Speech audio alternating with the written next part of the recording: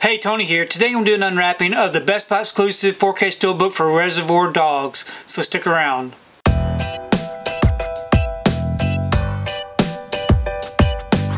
So today I've received my order for Reservoir Dogs. This right here is a Best Buy exclusive 4K Steelbook. Here's the front, and here's the back. If you'd like to check out these special features, you can go ahead and pause and do so. I'm going to go ahead and remove this from the wrapper and we can take a close look at this Steelbook. Okay, I've got the wrapper off. Here's the front of the Steelbook. It is a slip cover edition. So as we remove the Steelbook from the slip, it has this different reveal. Really nice looking artwork. It is a lightly glossed Steelbook.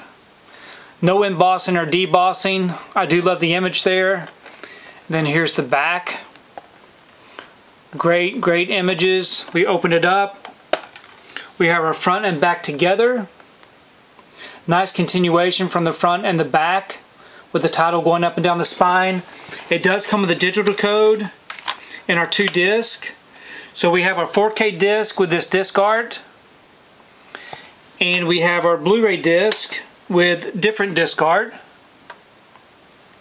And we do have some inside artwork. So overall this is a really nice looking steelbook.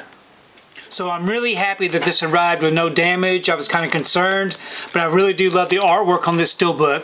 Please leave me a comment below. Let me know what you think about this particular steelbook unwrapping, and also let me know what you think about the movie Reservoir Dogs. I have never seen it before, and I'm definitely looking forward to checking this one out in 4K. If you like what you saw here today, please give it a thumbs up and share the video. If you haven't subscribed to my channel, I really appreciate it if you'd subscribe. If you do subscribe, please remember to hit that notification bell so that you can be notified every time I upload a new video. If you haven't found me on my social media accounts, I'm on Instagram Instagram, TikTok, and on Twitter. And if you'd like to find out what I've been watching, you can find me over on Letterboxd. I do have links below. But thanks again for watching, and we will see you next time.